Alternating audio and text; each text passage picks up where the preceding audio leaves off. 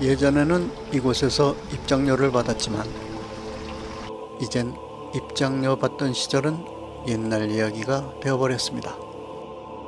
이곳부터는 완만한 경사로의 아스팔트 길과 계단길의 갈림목.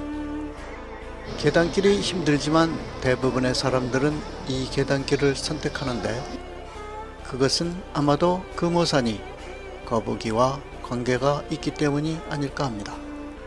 기암 괴석 절벽에 위치한 암자답게 여수 금오산 향이람으로 오르는 계단은 생각보다 가파르고 비록 숨이 차도록 힘이 들지만 오르고 또 오르면 삶에 찌들었던 무수한 마음속의 번뇌들은 숨 쉬는 것 자체도 버거워 잡념은 사라지게 됩니다. 참회하게 하소서 가파른 계단길에 힘들어하는 방문객을 응원하는 동자승과 옛날 마을 입구에서나 보았음직한 천하대장군과 지하여장군이 있기에 힘든 줄 모르고 오르게 됩니다. 법구경에는 남의 잘못을 보려고 힘쓰지 말라고 하였으며 지혜로운 사람은 비방과 칭찬의 소리에도 평정을 잃지 않는다고 했고 나쁜 말은 입에 담지도 말라고 쓰여 있습니다. 동자상이 미소로 전하는 뜻을 생각하며 오르다 보니 어느새 멋스러운 등용문을 지나게 됩니다. 이곳을 찾는 모든 이들의 시험 합격에 대한 소망을 이 여의주에 모두 담고 있는 듯합니다. 이곳의 지형이 거북이가 용궁으로 들어가는 형상이라 하여 세금의 큰 바다 거북 5의 금호산이 되었다는데 저 앞을 내려다보니 고개를 절로 끄덕이게 됩니다.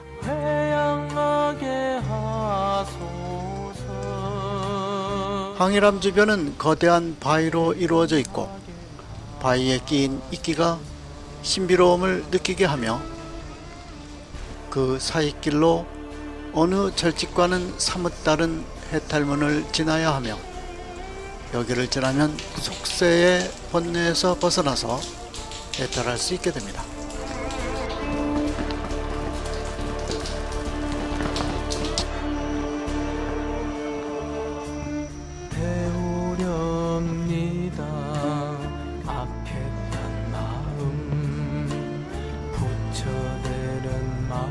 향일암은 1400여 년의 긴 역사를 갖고 있지만 대부분의 정각들은 1980년대에 새롭게 지은 건물입니다.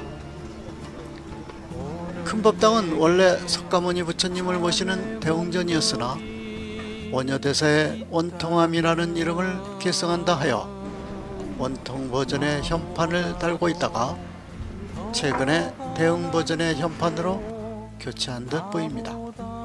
대웅 보전임에도 불구하고 부처님은 한 분만 모셔져 있고 협십을 또한 문수보살과 보현보살이 아닌 관세음보살과 지정보살이 협시하고 있습니다. 해를 향한다는 사찰 그 이름답게 일출명소로 관광객이 많습니다. 여수군지 등에 따르면 659년인 백제 의자왕 19년에 원효대사가 원통함이라는 이름으로 창건하였다고 하며 조선 중기에 이르러서야 향이람이라는 이름으로 불리게 됩니다. 관음 성지답게 관세음보살을 모시는 것은 두 군데이기에 먼저 천수관음전으로 발길을 내딛습니다.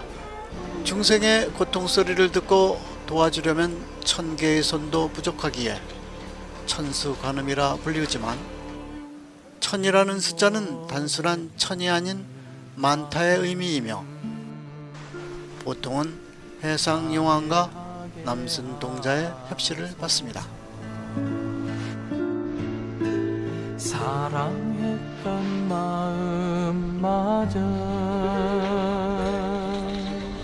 참회하게 하소서 천수관음전 옆에 이끼가 잔뜩 낀 큼지막한 바위 사이로 탄신불과 산신님이 자리를 잡고 계시며 하게 하소서 전생 500여 년의 세월을 지닌 팽나무는 이곳의 역사를 말해주고 있습니다. 참회하게 하소서. 배우렵니다.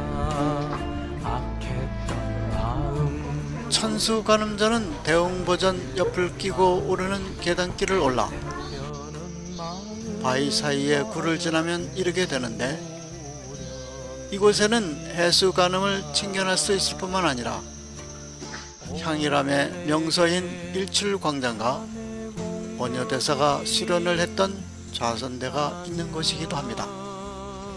관세음보살을 배우러 가는 길은 몸을 낮추어야만 지나갈 수 있습니다. 관음전에는 협십을 없이 관세음보살만이 홀로 모셔져 있으며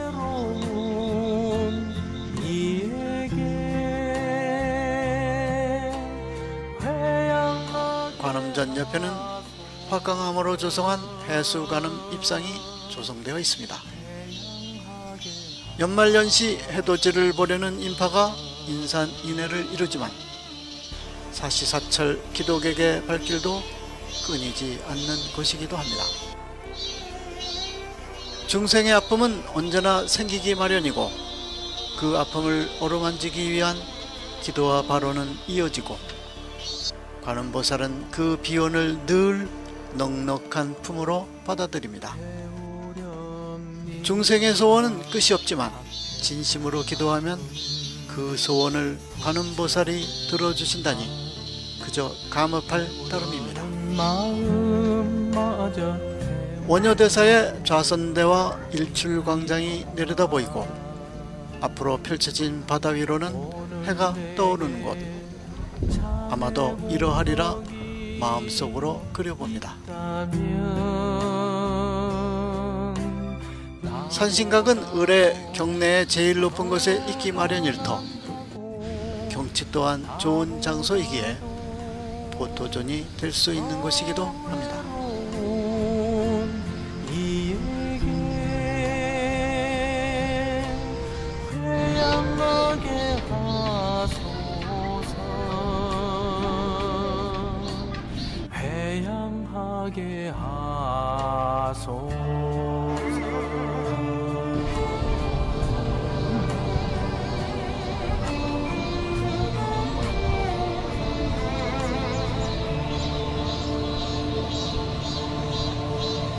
구독은 사랑입니다. 그리고 구독은 무료입니다.